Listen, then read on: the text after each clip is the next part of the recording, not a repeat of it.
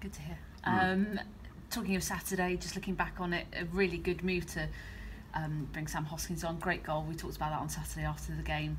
Um, is that is is that where you see him playing better? D- I, I I'm not often see give anything. I'm not going to give anything away to the Plymouth supporters. um, eh, He's a good forward, isn't he? He's good at Sam, that. Sam is is, uh, is one of those uh, players, in my opinion. For me, I know uh, Jimmy played him mostly as a seven, Mm. but Sammy has qualities that I believe he can play as a seven, an eleven, a ten, or a nine, and probably can do all four roles equally as well.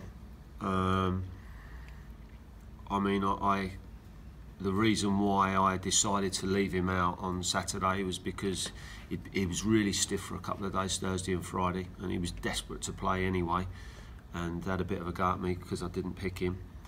Um, he didn't, but he just wasn't happy. But then again, I don't expect people to be. But I just felt that we really needed to freshen up um, after Tuesday night's game, not because Sam played bad or anything like that. And I, and I told him exactly that, and I also spoke to him about how potentially I wanted to use him, and I also spoke to him about potentially how I wanted to use him on Saturday from the bench.